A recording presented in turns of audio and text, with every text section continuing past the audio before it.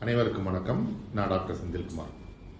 இன்னைக்கு சைனாவில் ஆரம்பிச்சு உலகத்தையே வந்து அச்சுறுத்தலில் வச்சிருக்கிற ஒரு வைரஸ் வந்து கொரோனா வைரஸ். இந்த கொரோனா வைரஸ் ஆனது ரெண்டாயிரத்தி பத்தொன்பது டிசம்பர் மாதம் சைனாவில் வந்து ஃபஸ்ட்டு ஐடென்டிஃபை பண்ணியிருக்காங்க. சைனீஸ் வந்து நிறைய ரா மீட்டு அதாவது பச்சை இறைச்சிகள் அண்ட் பல வகையான அ- அனைத்து வகையான விலங்கினங்கள் உயிரினங்களை வந்து அவங்க வந்து அப்படியே சாப்பிட்ற பழக்கம் உண்டு. அதனால் சைனீஸ்க்கு இந்த நோய் தொற்று ஏற்ப ஏற்பட்டிருக்கலாம் அப்படின்னு கண்டுபிடிச்சிருக்காங்க. இப்போது நம்ம இந்தியாவில் கேரளாவில் ஒரு இடத்துல ஐடென்டிஃபை ஆகியிருக்கிறதா சொல்கிறாங்க கொரோனா வைரஸுடைய அறிகுறிகள் என்னன்றதை பார்க்கலாம். இப்போ சாதாரணமாக சளி காய்ச்சல் இருக்கு இருக்கு இல்லையா? வைரஸ் காய்ச்சல் வருது இல்லையா? தும்மல் மூக்கடப்பு சளி ஒழுவுறது இருமல் உடம்பு வலி தலைவலி ஃபீவரு இதெல்லாம் இருக்குது அப்படின்னா ஜுரம் இருக்குது அப்படின்னா இது வந்து வைரஸ் தாக்குதலாக இருக்கலாம். எல்லா சளி இருமல் ஜுரம் தலைவலியும் வந்து கொரோனா வைரஸ் தாக்குதலான்னு பார்த்தீங்கன்னா கண்டிப்பாக கிடையாது. வேறு சில காரணங்களாலும் இருக்கலாம் வேறு சில வைரஸ்னாலே வரலாம் ஒவ்வாமைனால கூட வரலாம்.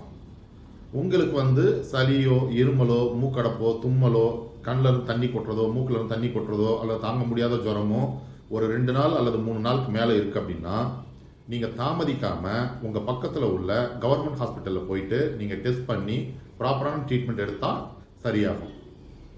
ஓகே கொரோனா வைரஸ் தாக்குதல்ல இருந்து எப்படி பாதுகாத்துக்கிறது அப்படின்றத இப்போ பார்க்கலாம். கொரோனா வைரஸ் தாக்குதல் மட்டும் இல்லை எல்லா தாக்குதலில் எல்லா வைரஸ் தாக்குதலேருந்து நாம் எப்படி பாதுகாத்துக்கிறதுன்னு தெரிஞ்சுக்கலாம். பொதுவாக மேலை நாடுகளில் வந்து கை கொடுக்குற பழக்கம் உண்டு. ஆனால் நம்ம நாட்டில் வந்து கையெழுத்து கும்புற பழக்கம் தான் இருக்குது ஸோ மேக்ஸிமம் எவ்வளோ தெரிஞ்ச நபராக இருந்தாலும் ஆஃபீஸ்லேயே ஆகட்டும் அல்லது வெளியாகட்டும் கை குலுக்காம அவங்களுக்கு வந்து கையெடுத்து கும்பிட்டு நீங்கள் இது பண்ணுங்க. இதுவும் ஒரு வகையான மரியாதை தான். அடுத்தது வந்து ஃபேஸ் மாஸ்க் இந்த மாஸ்கில் வந்து நீங்கள் பார்த்துக்கலாம் கவர்மெண்ட் ஹாஸ்பிட்டல்லையோ அல்லது பிரைவேட் ஹாஸ்பிட்டல்லையோ டாக்டர்ஸ் வந்து அந்த க்ரீன் கலர் மாஸ்க் வந்து யூஸ் பண்ணுவாங்க. அந்த க்ரீன் கலர் மாஸ்க் வந்து ப்ராப்பராக வந்து யூஸ் பண்ணணும். அதிலே டைரக்ஷன் போட்டுப்பாங்க. மாஸ்க் கவரில் வந்து எப்படி யூஸ் பண்ணுறதுன்ற டைரக்ஷன் போட்டுப்பாங்க. அந்த மாஸ்க் வந்து இது பண்ணுங்கள் பொதுவாக கை கழுவுறது வந்து நம்ம ஆளுங்க என்ன பண்ணுவாங்க அப்படின்னா ஒரு பப்ளிக் டேப்ல வந்து இப்போ ஹோட்டலில் சாப்பிட்றாங்க அப்படின்னா போய் அப்படியே பைப் திறந்து கையை கழுவிட்டு வந்துடுவாங்க ஆனால் அது வந்து சரியான முறை கிடையாது. கையை வந்து இருபது செகண்டுக்கு கம்மி இல்லாமல் கழுவணும். நீங்கள் சோப்போ அல்லது ஆல்கஹால் பேஸ்டு ஹேண்ட் கிளென்சரோ வந்து நீங்கள் யூஸ் பண்ணலாம். சோப்பு அல்லது ஆல்கஹால் கலந்த ஒரு ஹேண்ட் கிளீனிங் லிக்விட்லாம் இப்போ வந்து மார்க்கெட்டில் ஈஸியாக கிடைக்குது. அதை வந்து யூஸ் பண்ணலாம். அதுவும் இல்லாமல் மேக்ஸிமம் உங்களுக்கு ஜுரமோ காய்ச்சலோ தலைவலியோ இருக்கு அப்படின்னா நீங்க வந்து மேக்ஸிமம் வெளியே போகாதீங்க. வீட்டிலே இருங்க. டாக்டர் மட்டும் நீங்க கன்சல்ட் பண்ணிட்டு வீட்டில் இருங்க. இப்போ கண்ணுல இருந்து தண்ணி வருது மூக்குல இருந்து தண்ணி வருது அப்படின்னா இப்போ நீங்க அதை துடைக்கிறீங்க அப்படின்னா டிஷ்யூ பேப்பர் வச்சு துடைச்சி அதை வந்து டிஸ்போஸ் பண்ணிடுங்க. மேக்ஸிமம் இருமும் பொழுதும் தும்மும் பொழுதும் ஒரு கச்சி பச்சு நீங்க இருமுறதோ அல்லது தும்புறதோ நல்லது அல்லது ஃபேஸ் மாஸ்க் வந்து யூஸ் பண்ணுங்க.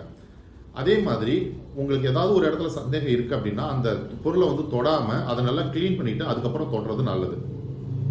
மேக்ஸிமம் பார்த்தீங்கன்னா வச்சுக்கோங்களேன் வைரஸ் நோய்கள் வந்து கொஞ்ச நாளைக்கு இருக்கும் அதுக்கப்புறம் மறைஞ்சு போயிடும்.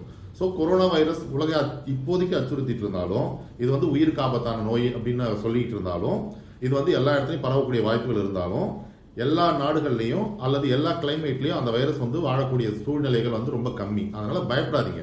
ஸோ உங்களுக்கு தலைவலி இருமல் காய்ச்சல் ஜோ மூக்கட மூக்கடப்பு தும்மல் இந்த மாதிரி வைரஸ் காய்ச்சலுடைய நோய் அறிகுறி இருக்குன்னா தயங்காமல் உங்கள் பக்கத்தில் உள்ள ஜிஹெச்சில் போயிட்டு அல்லது பிரைவேட் ஹாஸ்பிட்டலில் போயிட்டு ப்ராப்பரான எக்ஸாமினேஷன் ப்ராப்பரான ட்ரீட்மெண்ட் எடுத்தீங்கன்னா நார்மல் ஆகிடலாம் ஓகே இப்போ ட்ரீட்மெண்ட் ஆஸ்பெக்டில் வந்து பார்த்தீங்க அப்படின்னா சென்ட்ரல் ஆயுஷ் மினிஸ்ட்ரி அதாவது மத்திய அரசாங்கத்தினுடைய Ayurveda Unani homeopathy Siddha and naturopathy ministry uh, வந்து என்ன சொல்லியிருக்காங்க? ஹோமியோபதியில் ஆர்சனிக்கம் ஆல்பம் முப்பது பவர் முப்பது வீரியத்தில் உள்ள மருந்து கொரோனா வைரஸ் நோய்க்கு நல்ல ஒரு தடுப்பு மருந்தாக அமையுது அப்படின்ட்டு இருபத்தி ஒன்பது ஒன்று ரெண்டாயிரத்தி இருபதில் வந்து ஒரு அறிக்கை விட்டுருக்காங்க ஹோமியோபதி வந்து எளிமையான மருத்துவம் உட்கொள்றதுக்கு மிக மிக மிக ஈஸியானது ரொம்ப ஸ்வீட் பில்ஸ் தான் அது. இந்த மருந்துகளை காலையில வெறும் வயிற்றுல ஒரு மூணு மூணு உருண்டை நீங்க போட்டு வரீங்க அப்படின்னா ஒரு மூணு நாள்ல இருந்து அஞ்சு நாள் வரை நீங்க போடுறீங்க அப்படின்னா கொரோனா வைரஸ் தாக்குதலிருந்து தப்பிக்கலாம் அப்படின்ட்டு ஆயுஷ் மினிஸ்ட்ரியில இருந்து ஒரு அறிக்கை வெளியிட்டிருக்காங்க. இந்த மருந்துகளை அதாவது ஆசனிக்கம் ஆல்பம் முப்பது பவரை எங்களுடைய விவேகானந்தா ஹோமியோபதி கிளினிக் சென்னை வேளச்சேரி கிளையிலும் பண்ருட்டி கிளையிலையும் நாங்கள் வந்து மக்களுக்கு இலவசமாக தரதா முடிவு பண்ணியிருக்கோம். ஒருத்தருக்கு ஒரு மருந்து ஒரு ஒரு குப்பி அப்படின்ற இதில் வந்து நாங்கள் கொடுக்கலான்னு முடிவு பண்ணியிருக்கோம். ஸோ உங்களுக்கு இந்த ஆர்சனிக்கம் ஆல்பம் முப்பது வீதியம் வந்து ஹோமியோபதி மருந்து தேவைப்படுது அப்படின்னா நீங்கள் பண்ருட்டி விவேகானந்தா கிளினிக்லேயோ அல்லது சென்னை வேளச்சேரியில் உள்ள விவேகானந்தா ஹோமியோபதி கிளினிக்லேயோ நீங்கள் இலவசமாக வாங்கிக்கலாம். ஃப்ரீ ஆஃப் காஸ்ட் தான். கன்சல்டேஷன் இல்லாமல் நீங்கள் மருந்து வந்து வாங்கிக்கலாம். ஒருத்தருக்கு ஒரு குப்பி மருந்துகள் இலவசமாக தரப்படும். சரிங்களா? இந்த சந்தர்ப்பத்தை பயன்படுத்தி வியாதியிலிருந்து தடுத்து உங்கள் வாழ்க்கையை சந்தோஷமாக அமைச்சுக்கோங்க. நன்றி வணக்கம்.